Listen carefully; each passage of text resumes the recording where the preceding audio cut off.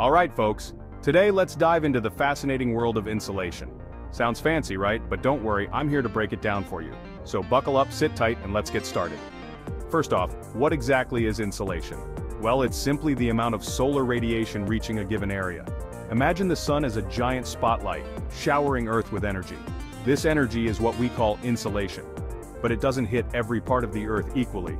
Now why does this matter? Because insolation controls our climate, weather patterns, and even how plants grow. It's pretty darn important. Let's break it down further.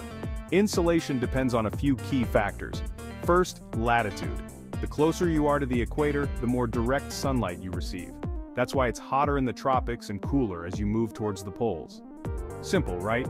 Next, let's talk about the angle of the sun. During different times of the year, the Earth's tilt causes the sun's rays to hit at different angles. Think about summer and winter. In summer, the sun is higher in the sky and its rays strike more directly. More insolation means warmer temperatures. In winter, the sun is lower and its rays are more spread out. Less insolation means cooler temperatures. Don't forget about the length of the day.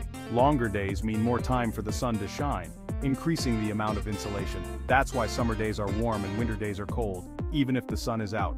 But hold on, there's more. The Earth's surface also plays a role. Different surfaces absorb and reflect sunlight differently. Snow and ice, for example, reflect a lot of sunlight, reducing insolation. Dark surfaces like forests and oceans absorb more sunlight, increasing insolation. And let's not forget about the atmosphere. Clouds, dust, and gases can block or scatter sunlight, affecting how much insolation reaches the ground. Ever noticed how it feels cooler on a cloudy day? That's the atmosphere doing its thing.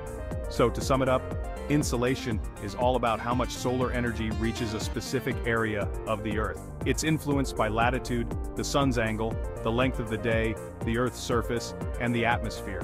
Understanding insolation helps us grasp how climate and weather work, which is super important for everything from farming to planning your beach vacation.